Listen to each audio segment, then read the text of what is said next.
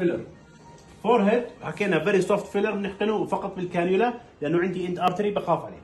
عندنا temporal area filling temple وحكينا tear trough حكينا في عندنا نوعين من الحقن واحد اسمه Volbella بحقنه عشان ال volume إذا كان في عنده تجوير كثير. والثاني عشان السواد أو الخطوط وهو ال Volite وبرضه بالكانيولا نيجي لل cheek حكينا إحنا في عندنا منطقتين.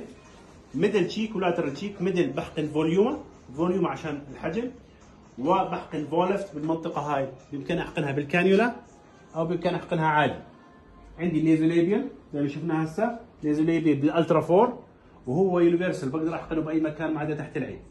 ال lips نفس الشيء. Ultra Four أو Volift. Volift بعطيني contour أكثر. ال Ultra Four بعطيني حجم أكثر.